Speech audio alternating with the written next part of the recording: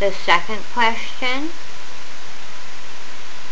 is how has your illness affected those close to you?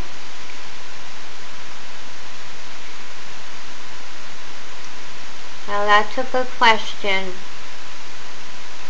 Watching their mother go through chemo and radiation and many different surgeries, including the last one, where I was kept in a medically induced coma for three weeks.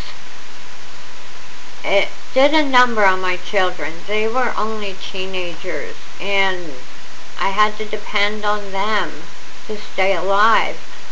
My son had to drive me every day. It made them grow up faster than I would have liked.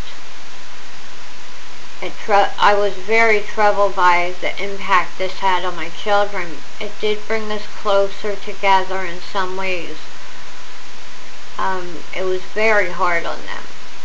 Where my son to this day feels sick to his stomach walking into a hospital.